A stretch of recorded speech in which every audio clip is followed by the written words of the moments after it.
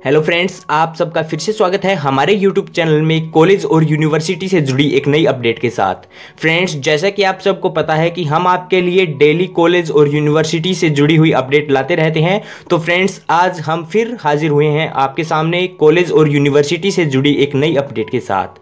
Friends ये video specially Haryana में study कर रहे कॉलेज यूनिवर्सिटी आई के उन सभी स्टूडेंट्स के लिए इम्पोर्टेंट होने वाली है, जो रेगुलर रूप से अपनी स्टडी कर रहे हैं। फिर चाहे वो कॉलेज स्टूडेंट हो यूनिवर्सिटी स्टूडेंट्स हो, या फिर आईटीआई में स्टडी करने वाले स्टूडेंट्स हो। तो फ्रेंड्स चलिए शुरू करते हैं आज के हमारी इस वीडियो को। क्या कुछ है वीडियो में? चलिए देख लेते हैं।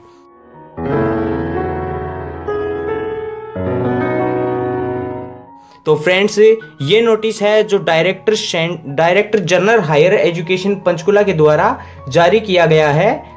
आप देख सकते हैं from director general higher education Haryana Panchkula. और किन किन को ये नोटिस भेजा है? तो फ्रेंड्स ये नोटिस भेजा गया है the director general, technical education department Haryana, the director animal husbandry department Haryana, the director skill development institute, यानी जो आई हैं उन सब के लिए, और लास्ट है the director medical education and research Haryana Panchkula. तो फ्रेंड्स, किसके रिगार्डिंग है ये नोटिस? क्या कुछ है? तो इसमें सब्जेक्ट दिया गया है कि जो आपकी जो regarding extend for closing date of centralized PMS scholarship portal for the year 2020-21 यानी आपकी जो पीएमएस स्कॉलरशिप है, जो कॉलेज और यूनिवर्सिटी के स्टूडेंट्स के साथ साथ आईटीआई में पढ़ने वाले स्टूडेंट्स को भी मिलती है तो उन सब के लिए ये ये जो स्कॉलरशिप है, उसकी जो क्लोजिंग डेट थी लास्ट डेट थी, उसको बढ़ा दिया गया है। यानी कि आप सबकी जो कॉलेज और यूनिवर्सिटी की जो स्कॉलरशिप के फॉर्म निकलते हैं, उन सब के लिए ये नोटिस जारी किया गया है। अगर आप भी कॉलेज और यूनिवर्सिटी के रेगुलर स्टूडेंट्स हैं और आप स्कॉलरशिप पाना चाहते हैं तो आप इस फॉर्म को अप्लाई कर सकते हैं। आपको ये फॉर्म ऑनलाइन अप्लाई करना होगा। तो फ्रेंड्स कॉलेज और यूनिवर्सिटी में स्टडी कर रहे सभी स्टूडेंट्स के लिए ये स्कॉलरशिप के रिगार्डिंग नोटिस आया है कि आपकी जो स्कॉलरशिप का फॉर्म भरने की डेट है, वो पंद्रह पाँच दो कर दी गई है।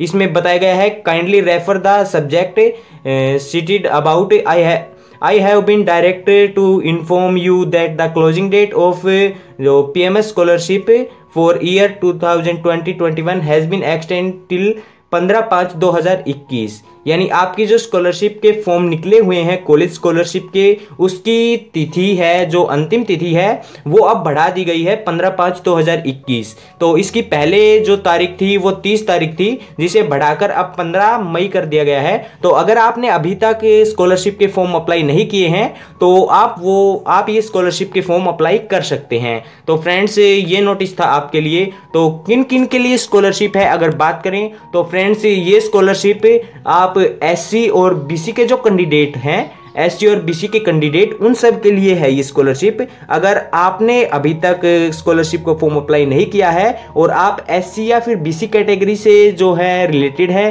तो आप सब के लिए ये फॉर्म इम्पोर्टेंट है। आप ये फॉर्म अप्लाई कर सकते हैं, जिसकी लास्ट डेट पंद्रह पाँच दो है। तो फ्रेंड्स क्या कुछ चाहिए इस फॉर्म को अप्लाई करने के लिए?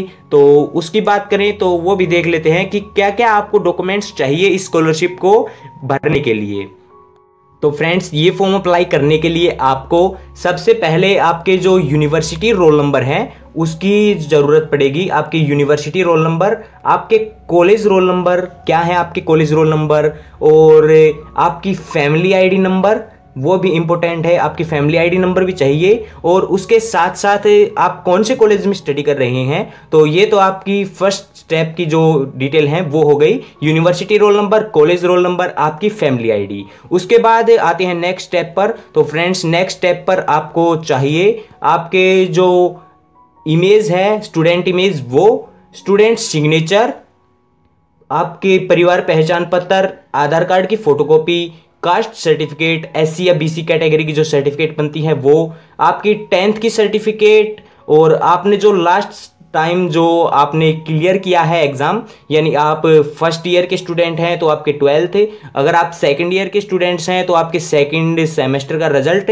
अगर आप फाइनल ईयर के स्टूडेंट्स हैं तो आपके जो, आपका जो रिज़ल्ट आया था पीछे फोर्थ सेम का, जिसमें आप प्रमोट कर दिए गए थे तो वो अगर ये आप फ़र्स्ट सेम के स्टूडेंट है, यानी अभी आपने कॉलेज में एडमिशन लिया है तो आपकी जो ट्वेल्थ की सर्टिफिकेट है, उससे आपका काम चल जाएगा।